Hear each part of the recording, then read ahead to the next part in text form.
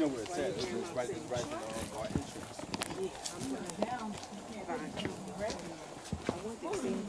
Yes, family. We are still here at Lesedi Cultural Village.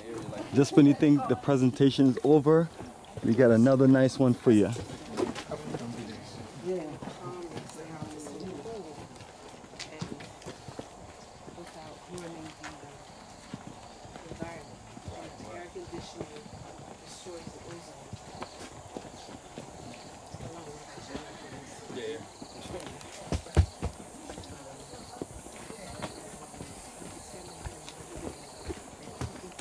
So as you can see, family, every single last village and community that we visited is completely different and just embrace the culture.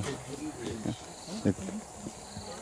As we connect back to the cradle of mankind and the cradle of all the historical, cultural village settings here in South Africa and Lesotho.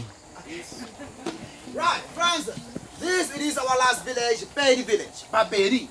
The sons and daughters of the great king, King Sekhukhune. And they had the rain queen by the name of Queen Mujaji, who had the power to make the rain to fall and to stop again. So before I tell you more, let us kindly greet the family by saying Thobela. Thobela.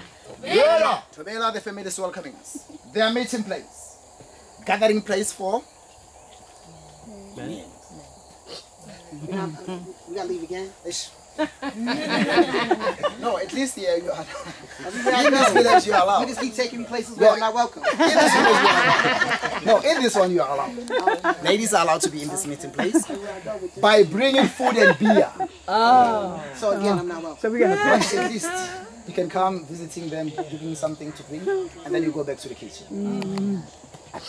It's better than nothing, eh? I'm not following you. And this is how we identify them by wearing the Scottish kilts. I hope that you know why they were like that. No. no. You know, eh? Yeah, he told me. Yeah, they need fresh air. Yeah. yes, indeed. As you saw it in the video, they had a war with the British, and then the British teamed up with the Scottish. So they didn't fight what they thought was an army of women. They lost the battle, and then the surviving warriors they then adopted the kilts as a remembrance of the triggering. That is why even today, once you visit them up in the north, in Limpopo, you'll find them holding in skulls once they do ceremonies. Hmm. Dancing, rejoicing, because of now it's a good story to tell for the upcoming generation. That was the first war in southern Africa to be lost without fighting. Now, for a man to get married, a man he pays 13 cows for one wife, one three. They don't marry out of prettiness. They believe that pretty ladies are pretty lazy. Hmm. That's not me. That's not me. Is there? If you are pretty and a hard worker, it's a bonus. As you can hear that side. The lady, instead of grinding, she needs to pound the maize three times a day. And then after doing it, she's going to kneel down, polishing the floor with cow dung. In New York, you call it cow shit. That's true. The reason why they polish the floor with cow dung three times per day, it is because of whenever cows they're for grazing, they're eating different types. So once the cow dung is dry, you won't see any flies or mosquitoes in your village. So here in South Africa, we call it South African mosquito repellent. Not something shit, eh? Okay. And have something special for us over here. The caterpillars, Mopani worms. Thank you. These are the dried Mopani worms. Sometimes they do cook it, put in some onions and tomatoes. Very high in protein. They call it masonja in their language. Crunchy, salty. Caterpillars. It's for real? Yes, this is for real. Family, this is what people are eating. Mopani worms. Some people are eating it. I'm about to show you the video of who eating it too. guide, Crunchy, guide salty. money crunch on one so I can sh- record you. Just crunch and salty.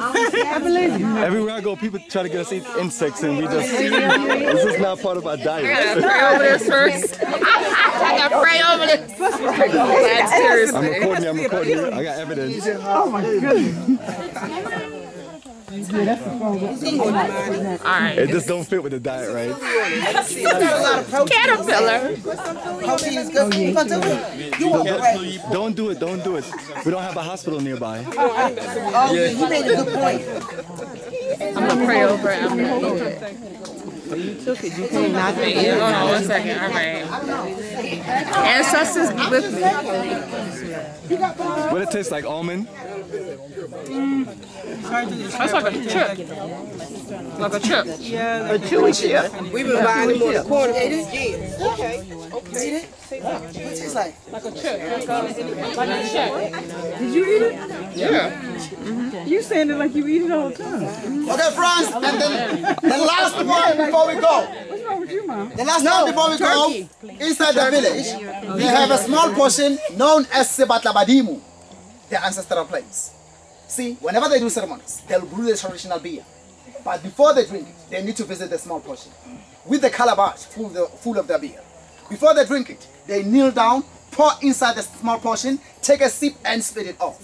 By doing it, they are communicating with their ancestors, telling them about the purpose of the ceremony that will be held in the village. That means they'll be asking their ancestors to celebrate and rejoice with them wherever they are. Even today, once we do ceremonies, we can't start a ceremony without pouring down first. We need to do it to honor those people who passed on before us in this land. There you go, family. That's like So friends, that's that. all about the Pedis and this the end. Pour of out a the little liquor. talk. Let us thank them by saying You see, that's it, family. You see where we get all this thing from, family? We- you know? Yes, my brother. Great cultural presentation, always. Yep. Excellent, Thank excellent. you. So, Can you follow me this way? so, family, it's been great. It's been incredible. There you go, Monique. Take some pictures with the warriors. Yes, warrior skills right there. Warrior energy. Don't you want to join us? Let me let me get you uh-huh. my phone. Cause like by the time. yeah. Mr. Bomani Dakari. Okay. Pho- pho- phone is available for you. You see how he look? oh, he's gone. He got he got to own all the pictures. Yeah. Yeah, so family, look at it. Beautiful photo right there. Two of our group members and two of our warrior brothers. Because that's because you want to take your picture first. You you shut me down. Yeah, he shut you down. There you go. And what we're gonna do before we walk out of here is I'm gonna show you this other part of the village. There you go. Perfect photo. My full eating. Your We, I ate a caterpillar. He ate the caterpillar. When in Africa, if that's all I had, I'd be all right. I'd be eating them like chips. Give me your phone. Eating like chips. I have one on your shoulder. Excuse by you real quick. Eat them like chips. Sounds great. This is just a beautiful layout.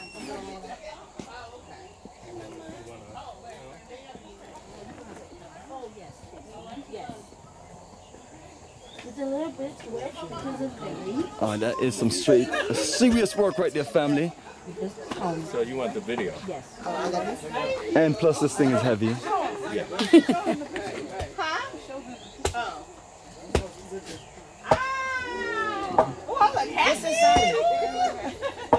Okay, you got it? You, you want a picture? You want a picture? Yeah, that was a lot of work. I we did something like that. all right, all right. For money. Yes, uh, Thank you. absolutely not. He's not. He ain't doing that. It's not a part of our diet. Uh, it's not. It's not. You know, caterpillar could be eating all kind of stuff. Next thing you know, you got malaria. Next thing you know, you got all kind of stuff.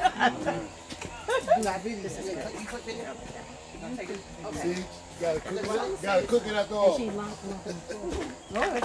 Got a, got a kitchen after all. Oh, that's lovely. Really nice. Okay. Suitable for framing. Yes, Charlie, ready to go? So we are done.